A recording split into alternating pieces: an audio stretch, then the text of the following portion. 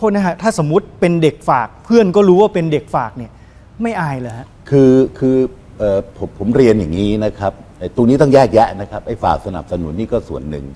หรือแม้กระทั่งณเวลาเนี้ยไอ้คนทำงานนะครับครับไอ้คนที่มีความรู้ความสามารถอืม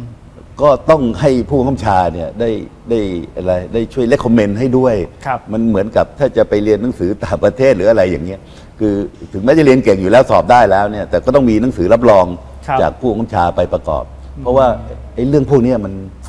เอ่อผมไม่รู้จะใช้คำว่าไงดี มันครัเกิบดขึ้นมันจนอะไรเป็นธรรมเนียมประเพณีการปฏิบัติแล้วถึงเวลาที่พอ